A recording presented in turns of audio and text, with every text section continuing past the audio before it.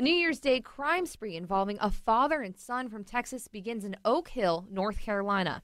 At 7 p.m., local officials responded to a fire at 62 year old Dora Faulkner and her husband, 73 year old Jerome Faulkner's home. When uh, we first got the call, uh, we just thought it was a structure fire. Investigators quickly discovered the Faulkner's car was missing. 21 year old Eric Campbell and 54 year old Edward Campbell had bursted into their home, taking the couple and torching their house. North Carolina's Granville County Sheriff says the community is in shock. This kind of thing does not happen here.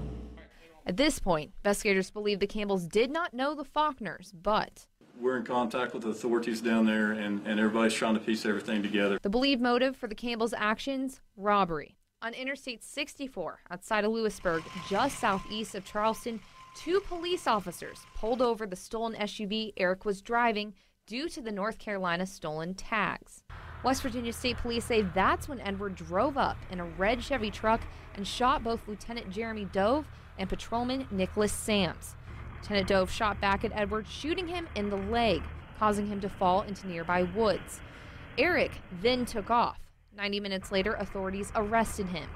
After searching the car, West Virginia State Police found two bodies hidden under a mattress the bodies of Dora and Jerome. If the West Virginia police had not have stopped them, that this crime spree would have continued on.